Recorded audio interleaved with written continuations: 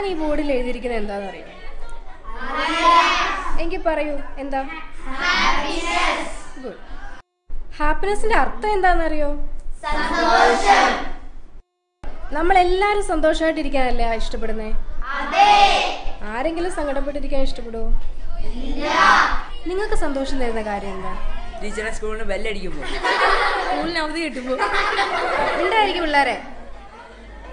ആയിരുന്നു ഏറ്റവും സന്തോഷം തരുന്ന കാര്യം എന്താ?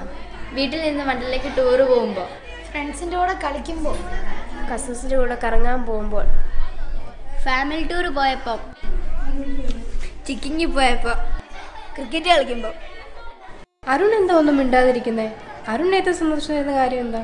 ടീച്ചറെ എനിക്ക് അങ്ങനെയൊന്നുമില്ല എന്നാലും എന്തെങ്കിലുമൊക്കെ കാണില്ലേ? ഉണ്ട്. പക്ഷെ അത് എന്തായാലും പറ. എന്റെ അമ്മയോടൊത്ത് രാത്രി കഞ്ഞി കുടിക്കുന്നതാണ് എനിക്ക് സന്തോഷം.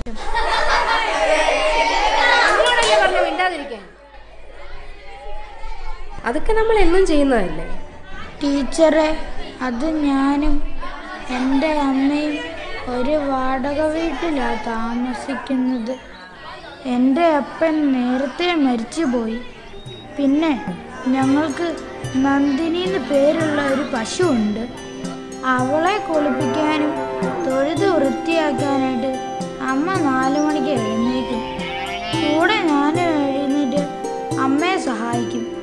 നേരം വെളുക്കുമ്പോൾ കറന്ന പാൽ അടുത്ത വീട്ടുകാരുടെ കയ്യിൽ കൊടുക്കുവാൻ അമ്മ എന്റെ കയ്യിൽ തന്നുവിടും പിന്നെ ഞാൻ വന്ന് സ്കൂളിൽ പോകാൻ റെഡിയാകുമ്പോൾ അമ്മ അടുത്ത വീട്ടിലെ പണിയും കഴിഞ്ഞ് വരും. എന്നിട്ട് തലേ ദിവസത്തെ കഞ്ഞിയും കുടിച്ച് ഞങ്ങൾ ഇറങ്ങും ഞാൻ സ്കൂളിലേക്കും അമ്മ ലോട്ടറി വിൽക്കാനും.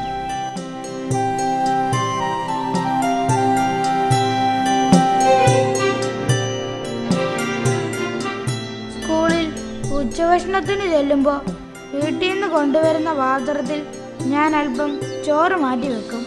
വൈകിട്ട് സ്കൂൾ വിടാൻ ബെല്ലടിക്കുമ്പോൾ ഇത് കൊടുക്കാൻ ഞാൻ അമ്മയുടെ അടുത്തോട്ട് ഓടിച്ചിടും പിന്നെ ലോട്ടറി വിൽപ്പന കഴിഞ്ഞ് ഞങ്ങൾ നന്ദിനിക്ക് പുല്ല് പറിക്കാൻ പോകും. തിരിച്ച് വീട്ടിലെത്തുമ്പോൾ നേരം ഇരുട്ടും.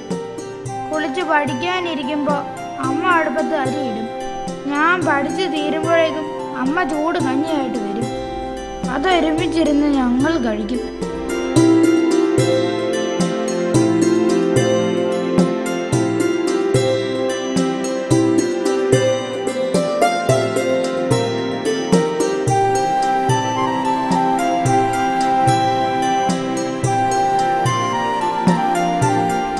ഒരു പ്രത്യേക രുചിയാണ് ടീച്ചറെ.